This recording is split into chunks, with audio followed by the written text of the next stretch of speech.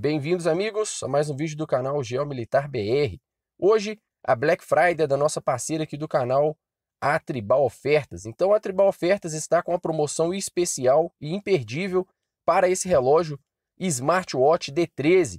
Ele possui várias cores e também é um relógio extremamente tecnológico, podendo ali te ajudar nas suas tarefas diárias, também nas suas tarefas como corridas, caminhadas e monitoramento cardíaco. Esse relógio é resistente à água e é um relógio que tem as melhores tecnologias disponíveis no mercado. Então, terminando o vídeo aqui, vai lá na Tribal Ofertas e aproveita essa promoção especial usando o link que estará aqui na descrição do vídeo. Em solenidade recente, a Iveco entregou o número 500, o veículo número 500 do nosso blindado Guarani. E também nessa solenidade estava ali representantes da Otto Melara, das Forças Armadas e também da Iveco Itália, onde os mesmos estavam demonstrando e também observando ali uma maquete do veículo Centauro 2.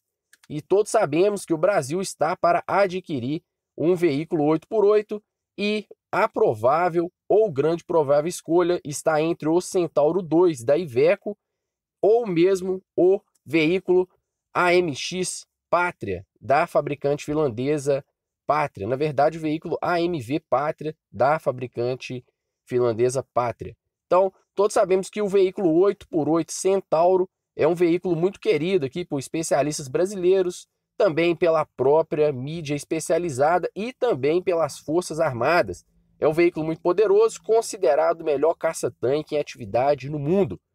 Todos sabemos que a própria Iveco fabrica aqui em Sete Lagoas e que o Centauro, sim, pode ser escolhido e vir a ser fabricado aqui em solo nacional, já com alguma transferência de tecnologia. E isso corre muito em segredo entre as Forças Armadas e a própria Otto Melara Iveco.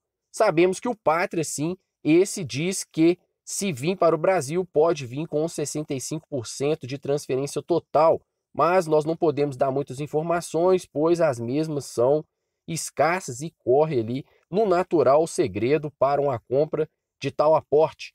Mas podemos aguardar sim que logo, logo o Brasil deve dar uma, uma reviravolta nesse caso dos 8, dos 8 por 8 e, quem sabe, o Centauro 2 venha a ser fabricado e venha ali a cumprir o seu dever aqui no Brasil.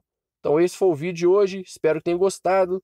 Eu peço que deixe seu like, se inscreva no canal, também compartilhe essas informações. E muito obrigado por ter assistido e valeu!